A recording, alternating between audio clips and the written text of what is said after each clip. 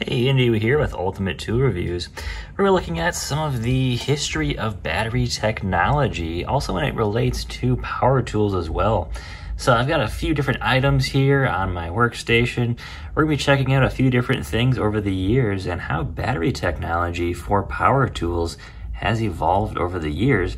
Also, why power tool technology has even maybe skipped a few types of technology as well too, um, in the essence of safety. So guys, let's jump right into it and we'll start here with something back in the 80s and 90s. All right, starting here on the left with some of the first power tool batteries. Uh, these were going to be uh, NiCad or nickel cadmium. And these batteries, you know, they worked great at the time, but, you know, once we moved to lithium ion batteries, the downsides of NiCad batteries uh, were definitely very apparent. So as you can see from this battery, we're at a 9.6 volt, 1.3 amp hour, and this thing is definitely not light by any means. On the scale, they are reading 13.7 ounces.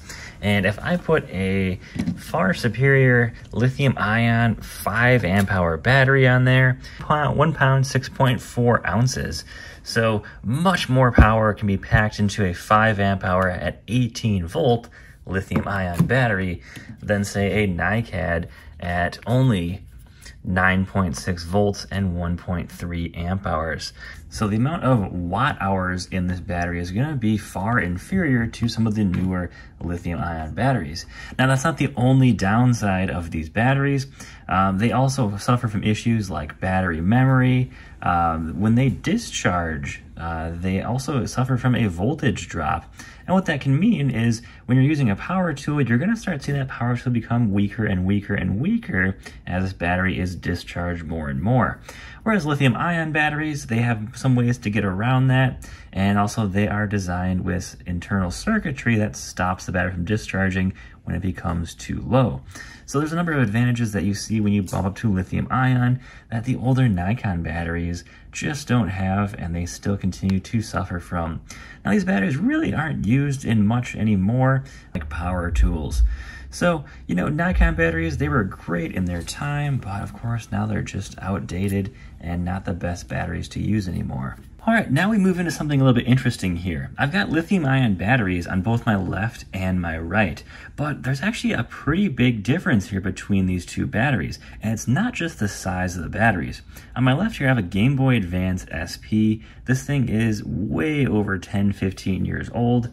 Uh, these things came out quite a while ago, and this is quite an old one. I've used it, you know, plenty, but check this out. It still functions turns on fine and holds actually a decent charge.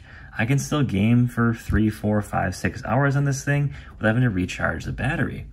However, though, if you were to get a Makita battery that's going to be hitting that 10, 15 year old range, you'd probably not see very much life out of that battery at all. If anything, it'd be very hard to find a Makita battery that is still functioning after 10 or 15 years. Now, why is that? Well, great question. They're both lithium ion batteries, both are different sizes, but the secret is actually going to lie in how they're charged and the type of charge that's being used. So if we look at the Game Boy Advance SP charger here, now, one thing, of course, is going to be the voltage difference. This is going to be an 18 volt battery in the Makita. However, in the Game Boy Advance, we're looking at a 5.2 volt. Now that really doesn't play into too much of effect here in the battery longevity, but notice the output of this charger, 320 milliamp is gonna be this charger. Now, if I pull out a Makita, this is just a regular Makita DC18RC rapid charger here. Um, this will charge batteries very fast. And that Game Boy Advance SP that I have over here on my left is going to charge quite slow. Should take anywhere between two, three, four hours to recharge fully. How these Makita chargers can charge a much larger battery in much less time, definitely under an hour, somewhere between 30 and 50 minutes for most batteries. Now check out the back of this charger here. Output is going to be 18 volt at 9 amps. So we've got a lot more power pushing into that 18 volt battery. Now, if you compare the battery, um, you know, of course we got different size batteries here, but the amount of power going into one battery is astronomically more powerful than the smaller battery. one of the big things that makes batteries last a lot longer, especially lithium ion batteries, is controlling the level of heat those batteries experience.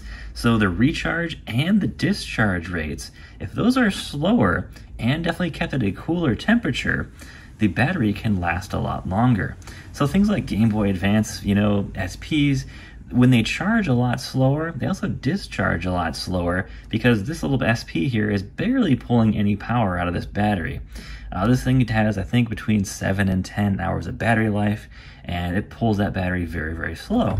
Whereas the Makita batteries at 5 amp hour, you can burn these batteries, say, in a mower or one of the blowers or a chainsaw in about 10 minutes or less. These things can be discharged very, very fast. They can get very, very hot. Now that takes down the battery life and the battery health. So by discharging and recharging a battery at a higher rate, causing more heat, you're going to lose a lot of your battery life. So while we have two different types of batteries here, both lithium ion, but for different uses, that recharge rate can definitely affect your battery life. So how do some of the big brands Makita, DeWalt, and Milwaukee compare when it comes to recharge rates?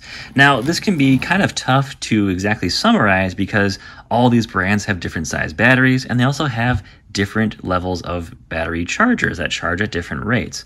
Um, Makita seems to be the easiest one, really a simple solution to that. Um, almost all of their chargers are going to be at a 9 amp hour. They Makita loves the rapid chargers. Um, I would say the vast majority of the Makita chargers are all rapid chargers. That's pretty much all I've ever got when I've bought Makita tools. Now DeWalt, I feel has the most variance when it comes to chargers. So if you look at the model number on the DeWalt chargers, DCB115, uh, if you look at the output that it's going to charge from here, it's going to charge at 4 amps. So, of course, it's going to be less than half the speed of the Makita.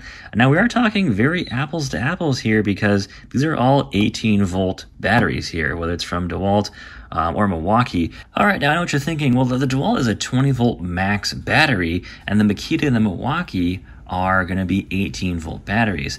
Now, while that is true, DeWalt is claiming a 20 volt at maximum. Now, these batteries all do run at 18 volts. Um, you can compare batteries actually quite easy by checking out the watt hours, which is going to be on the bottom of all these batteries. So the Makita has a 90 watt hour. The DeWalt has a 100 watt hour. They're claiming that 20 volt max times that 5 amp hour rating. And the Milwaukee also has the exact same rating as the Makita at a 90 watt hour as well. So watt hours is calculated very simple. All you do is multiply the, the amp hour of the battery by the voltage of the battery. That's how you get the watt hours of the battery. Uh, basically, all you got to do is look at, you know, when you look at the batteries, the amp hour is a good way to tell like a fuel size or fuel tank size of that battery. All right, so now let's look at the Milwaukee charger. We already have the Makita charger at 9 amps outputting. The DeWalt over here is going to be at 4 amps, while this Milwaukee charger is going to be at 3 amp hour charger. This will charge the battery the slowest out of all of these three chargers. Now this is just the standard Milwaukee charger. Milwaukee chargers pretty much only go up from here. So you can of course pick up more rapid chargers. Um, the DeWalt chargers, you can actually find much lower end chargers. Um, I keep the DCB 115s because they're pretty much one of the fastest chargers that doesn't have a fan in it and you'll find in most kits. So now what does this mean for battery life when we look at the speed of charging with those amps there? Now, as we compare to that Game Boy Advance SP, a slower charger will help a battery last longer. But of course, that prevents a larger disadvantage where say you're using batteries at a much more rapid pace, you can't let batteries sit in the charger for a couple hours. So of course, you got to make a bit of a choice there. Do you want to go with a charge that's going to be faster, but give you less life out of a battery, but let you get more work done in a shorter period of time? Or do you want to go with something that's going to give you, of course, more life, but it's going to take longer to charge that battery? That's kind of the question that, you know, is up to you really what you want to do. Um, I don't mind using the Makita stuff on their rapid chargers because some rapid chargers, every brand actually has one that has a fan built in to kind of control that thermal load of that battery. So by keeping that battery cooler while it's charging, it's going to help prolong the life of that battery. So now keeping your battery cooler, keeping the charges, you know, of course, controlled. Um, I looked into some of the batteries here from DeWalt, Milwaukee, and Makita, and a lot of what I saw from recommended from the brands was to charge when the battery is about halfway down. Don't let it go all the way down to zero. Uh, if you've ever seen some of the tools and stuff video, I think he's the only YouTuber that I've seen that had it. On the Makita line, there's actually a Makita uh, battery reader that'll tell you the number of charges, number of time it's been over discharged, and some other things when it comes to battery health, the cell health as well too. So by running these batteries down too low, you can damage the battery um, by running them too fast when you get them too low can cause them battery damage or discharging them too quickly can cause battery damage as well as charging them too fast will also cause battery damage. Now some of those issues are now being kind of fixed a little bit when we get into some of the stacked lithium um, pouch cells. Now, there's only two brands that have that so far. DeWalt has a 1.7 amp hour pouch cell, and Flex is pretty much leading right now. I don't have any of those pouch cell batteries here, but Flex is absolutely dominating that with a th- with basically three different sizes of that pouch cell battery. Now, if you've ever seen a laptop, um, if you've ever seen the older laptops, as those batteries start getting older, they might start expanding um, in those batteries. That can be a little bit of a dangerous situation, as lithium ion batteries can, of course, start on fire, possibly even explode. Now, of course, can happen with these cylindrical cell batteries as well too, um, but it's less likely with these batteries. Um, now, when you go into the pouch cell batteries, um, of course, they have a higher discharge, higher recharge rate because they can dissipate the heat at a much greater, greater capacity than the cylindrical cell batteries can. So we're seeing some advances in technology happening so far, but in my opinion, I think we need to see something else in lithium ion. Uh, there's some new battery technology kind of coming down the pipeline, like graphene batteries. I think CAT has one of those for their power tool line, but I don't really know what happened to that right now too much. Doesn't seem like it's really going anywhere too fast. Now, there's one type of battery that is used in the RC world that is really never used in the tool world. Here I've got a DJI Phantom 4. This is a LiPo battery or lithium polymer battery. Um, similar to the pouch cells used in some of the stacked lithium batteries, but it uses a different type of battery technology that actually allows you to compress or have a higher density um, power into a smaller battery pack. Now, there's one big disadvantage with these battery packs while they're not used in power tools, and that's because, of course, when you put a higher density power into a smaller battery pack, your chance of explosion or fire is much, much greater. So that's why they're really not used too much or basically at all in any power tools because they can't handle the drops, they can't handle the repeated charge cycles of what we need in lithium ion battery packs. Now, I've been mentioning, of course, you know, batteries expanding, bulging batteries, batteries that catch on fire, batteries that explode. Of course, that's always going to be an issue whenever you have anything with the lithium ion or lithium polymer batteries. I definitely recommend you would pick up something like a LiPo Guard or LiPo Safe battery um, case like this. They're pretty cheap on Amazon. I got a two pack for 10 bucks. Now, what they are is basically a bag that'll help contain any damage um, if a battery were to, say, explode or catch on fire. Now, whether or not you even have a LiPo battery, I, feel, I still think it's a good idea to at least have one of these bags on hand just in case you say have a power tool battery that starts bulging some of the battery packs. Um, once a battery can start bulging, all it takes is those lithium ion cells in there to say make contact and that battery can start on fire or that battery can explode. Um, checking on youtube you're going to see a lot of videos of say some of those um, hoverboards or at cell phone repair shops. Batteries catching fire batteries exploding. Um, now it's not a huge risk when it comes to lithium ion batteries but if you were to say get a battery that is going to be damaged you drop it um, it starts expanding. Being able to throw it in one of those bags and then take it to a uh, safe recycling center is going to give you a little bit extra protection that for 10 bucks I think is totally worth it. I wouldn't want to have a battery that's about to possibly explode in my inside of my truck as I'm taking it to a recycling center and make a giant mess, start my truck on fire, melt the seats, do some damage in there. When a $10 bag like this can really solve all those issues really quickly.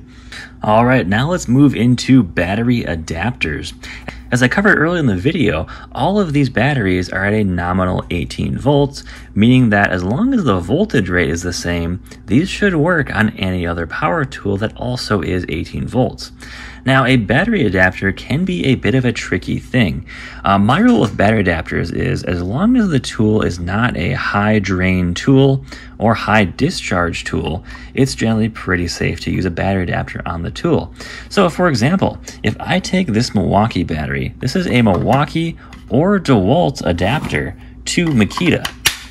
I can actually use this with a Makita tool and I am all set here. So with this multi-tool, this will work just fine. Now, it does present a few weaknesses. These battery adapters are only really as good as they're made, and a lot of them aren't made very well. Um, it's going to be the weak point between these two tools. Um, you can see there's a bit of play in here. This isn't the best plastic compared to the Milwaukee battery or the Makita tool itself. And it does add basically another almost full inch between the battery and the tool. It also has another serious disadvantage. If we notice on the bottom of this Makita tool, there's going to be three different pins here. Now that third pin is going to be that star protection technology. It allows that tool to communicate with the battery and say, hey, we're pulling too much power, uh, we're getting too hot, and it'll actually shut down that tool before there's any damage to the battery or the tool. When you use a battery adapter, notice what's missing there, that third pin. And it really can't even add the third pin on anyways because a Makita tool can't talk to a Milwaukee battery. They just talk in two different languages. And of course, there's no way for them to be able to say, hey, I'm getting too hot, I gotta shut down. And same thing with the tool and vice versa. So by using a battery adapter, you basically bypass all of that protection technology. Something to be very aware of whenever you're using a battery adapter. However, though, let's say you're a big Milwaukee guy, you got all Milwaukee tools, but someone hands you a Makita multi-tool for free.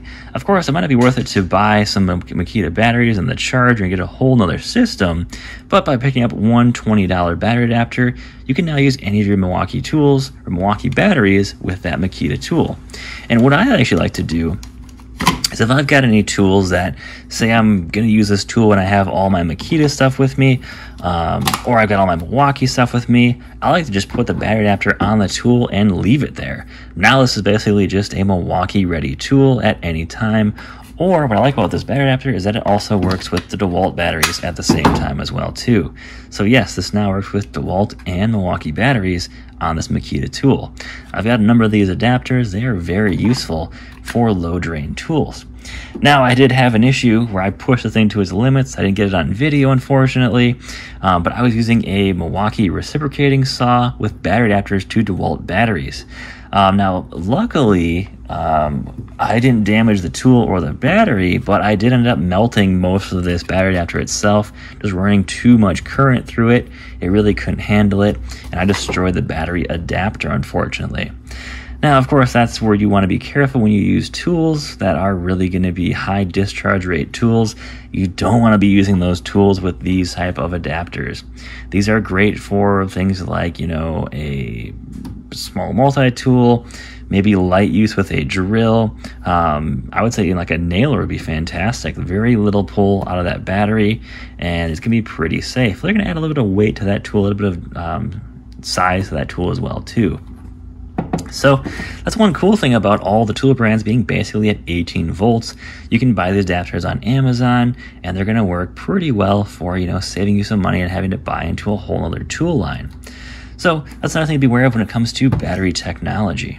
Alright guys, hope this video was informative. Hope I was able to answer some of your questions on battery technology and how it relates to power tools. Also, how you can be safer with your power tool batteries, um, things about maybe some of your questions on some of the battery adapters, why certain batteries last longer than other batteries, and why it's important to also keep track of how fast and how much heat your battery power your batteries are putting out, and how that can relate to battery longevity.